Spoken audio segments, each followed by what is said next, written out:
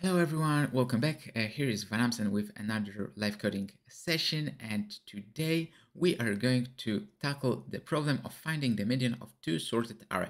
And guess what? We are going to implement it in Python, but don't worry, I will provide also implementation in other languages. So first thing first, what's the problem uh, we are tackling? So we have two sorted array, num1 and num2, and the goal is to find the median value after merging this array.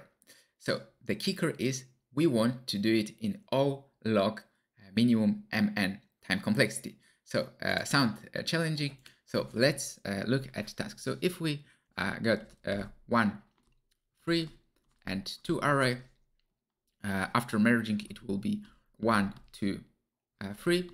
So our median value is two. And if we have one, two, and also sorted three, four, uh, yeah, it become uh, one, two, three, four merged array.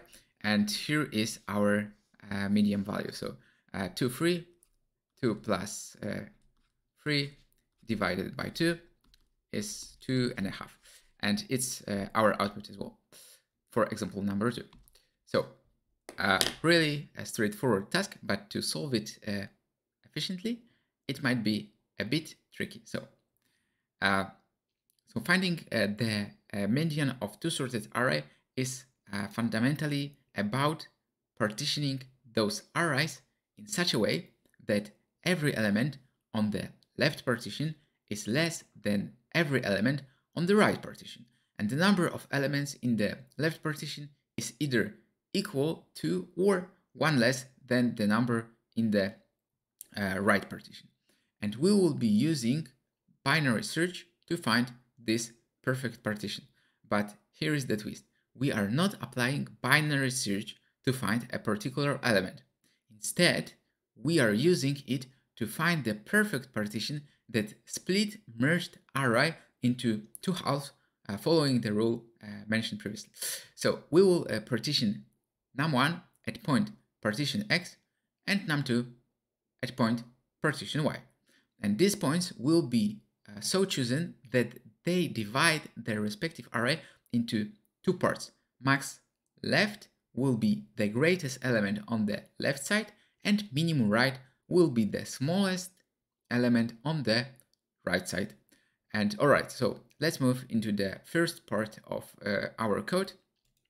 So uh, ensuring num1 is the smaller uh, array. So if len uh, num1 num1 num2 num2 uh, num1 so uh, ensuring uh, yeah uh, num1 is the smallest array uh, so we just swap it. And why we do this uh, so it's great question. And we want num1 to be the smaller array because we will be applying binary search on it and it makes the algorithm faster by reducing the number of elements we have to uh, look through.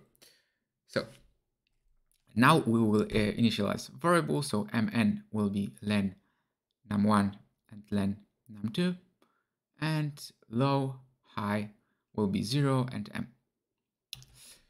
So uh, what are these variables? So here m and n are the length of num1 and num2 respectively, and low and high uh, will serve as the boundaries for our binary search.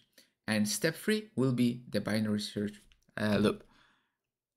So while low less than high, uh, partition x will be low plus high divided by 2 without remainder, and partition y mn 1, 2 minus partition x. So what's happening here? We are started our binary search loop and the partition x and partition y points uh, will divide num1 and num2 respectively into two parts mentioned before, uh, a left half side and right half side. So uh, now uh, step uh, 4, uh, finding max left and minimum right. So max x will be float infinity partition x 0 else partition x minus 1 and max y will be float infinity uh, if partition y 0 else num2 partition y minus 1 and minimum x will be float infinity if partition x m else uh, else will be nums 1 and partition x and minimum y will be float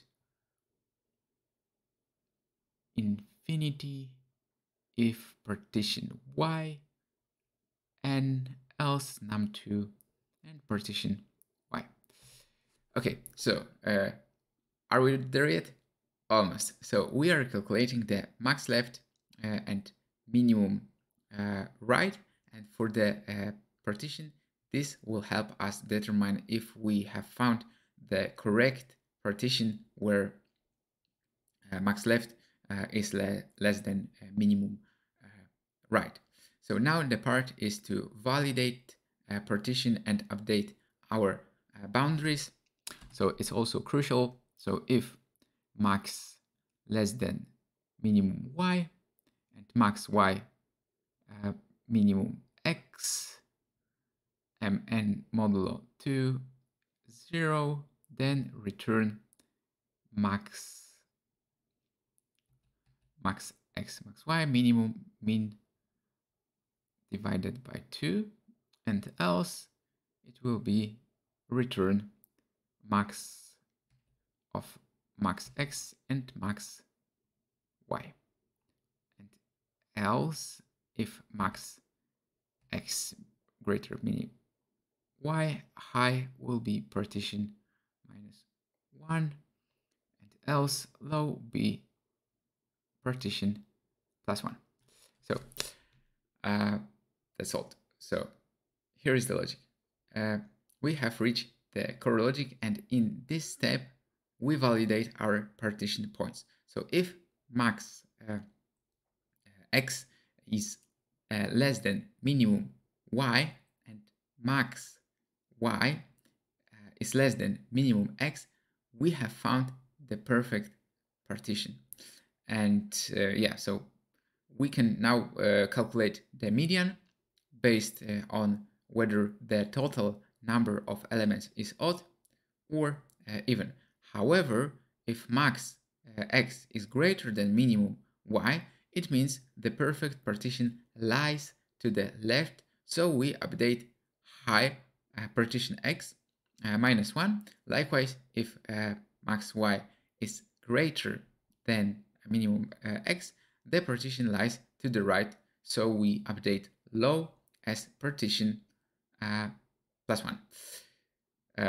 yeah, so now let's run it to verify it's uh, working. So hopefully it will. So yep, and uh, given first example two as mentioned previously, and second one, two, three, four, two and a half. So quite easy, but uh, let's submit it to see how it uh, performed.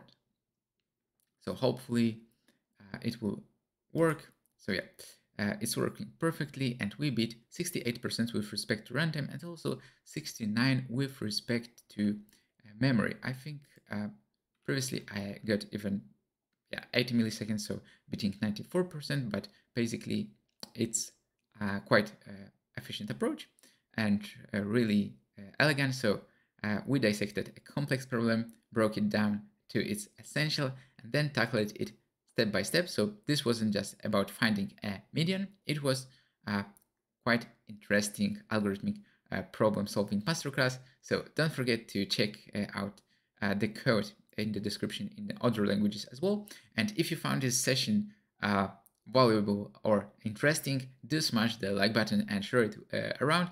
So uh, we will be back with more coding challenges, tutorials, machine learning, tech, and uh, much more. So subscribe if you didn't uh, yet. So uh, until then, keep practicing, stay motivated, and happy coding!